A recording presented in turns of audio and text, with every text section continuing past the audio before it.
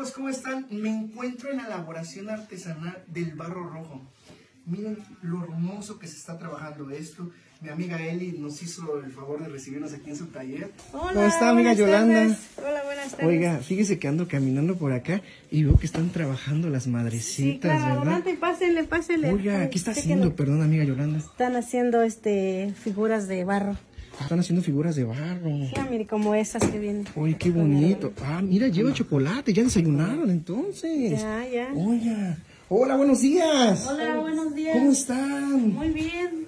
Ah, pues mi nombre es Elizabeth Ortega Cruz. Crescencia Cruz. Crescencia Cruz. Ah, pues aquí mi tía está trabajando, este, va a ser un- una olla, que es lo tradicional de aquí de San Marcos, que se ocupa para los frijoles, un atole, as- es utilitario. El barro es este. Ajá. De aquí del barro se pone a remojar. Sí, se pone a remojar y ya luego Después se, se, cue- se cola, se cuela, Ajá, se quita lo que es como gravilla Ajá. y queda lo más finito. Y lo más finito es lo que, Es lo que empieza a formarse ya mojado, obviamente, ¿no? Sí. Miren, miren qué bonito lo que está haciendo. Oye, ¿y qué es lo que está abajo? O sea, ¿qué es Ah, que... pues es una piedra que ocupamos para el torno de las piezas. El torno de la pieza, pero es que esto es algo tradicional. En muchos lados he visto que el barro lo hacen como en una mesita y le van girando con el pie. Así es, pero como acá este nosotros hacemos las piezas con nuestras propias manos. O sea, esto es más artesanal que es. Ajá. Qué bonito es Ajá. esto. Ella ya tiene este año trabajando del barro, pues como cuando nuestras mamás andan trabajando del barro, para que nosotros no la molestamos, pues ya nos dan este un pedazo de barro para jugar.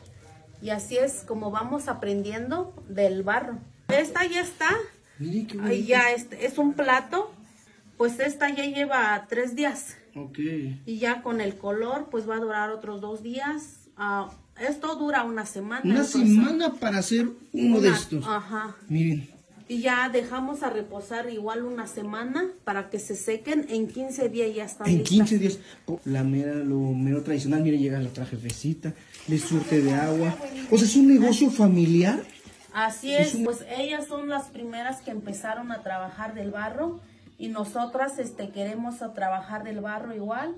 Pues ahorita aquí estamos en San Marcos, La Pasola, Oaxaca. Oaxaca. ¿A cuánto tiempo del centro? Ah, del centro de Oaxaca para del pueblo es una hora y media. Pues el que agarró es un olote. Colote del maíz. Ajá, que viene siendo de la mazorca. Oye, y eso con eso como que lo que está uniendo, lo está uniendo y dándole Ajá. forma. Así es. Y este nosotros hablamos este una lengua materna que es el zapoteco.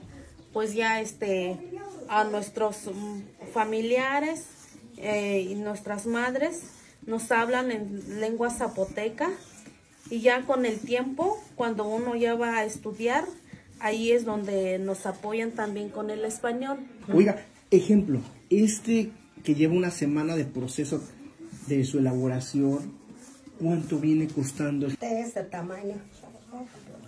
Si va a ser este un poco chico, ah, va a ser este 75. Para mí 75 pesos, esto está regalado.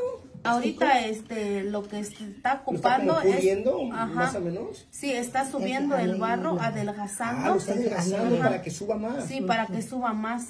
Está ocupando una jícara. Este está fuera de plomo, es No. puro barro natural. Entonces, la gente, ¿cómo identifica un barro con plomo y sin plomo? Ah, pues ya ve que ahorita ya Cuando hay barros. barniz. Ajá, cuando están enbarnizado es cuando llevan plomo o hay barro que lleva este petróleo.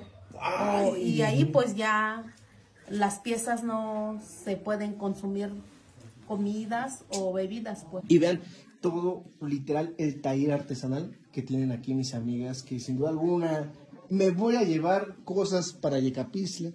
Ve qué bonito va quedando, ¿eh?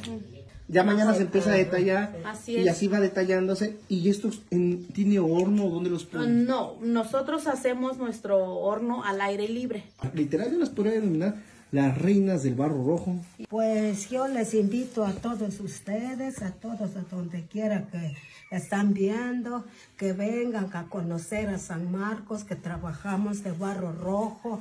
Ay, así lo encontramos con mucho gusto, la recibimos.